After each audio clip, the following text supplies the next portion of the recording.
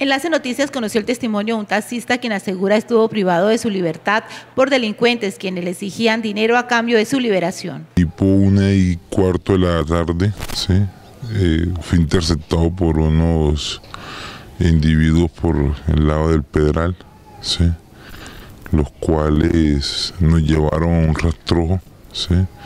pidían una extorsión de 10 millones de pesos por el carro y por la vida. Eh, a raíz de eso, pues gracias al operativo del Gaula se puede dar con la liberación del, vehículo y de la mía. Entonces, de resto, pues están a la espera. Está todo en investigación, ya prácticamente los tienen todos identificados. El hombre, quien estuvo retenido durante varias horas, dio a conocer además que fue llevado mediante engaños.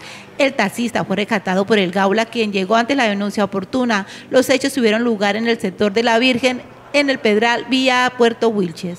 Hubo, hubieron un intercambio de disparos, y se fueron, ellos se fueron, se salen corriendo, y yo también salgo, cuando salgo ya estaban los del Gaula ahí mismo. Este hecho, el Gaula de la policía se pronunció asegurando que la mayoría de estas extorsiones son realizadas desde las cárceles para extorsionar a la comunidad. ¿Qué sucedió el día de ayer? Eh, piden un servicio desde cualquier cárcel del país dan un servicio a un punto en zona rural, en, las laderas de, de nuestra Barranca Bermeja.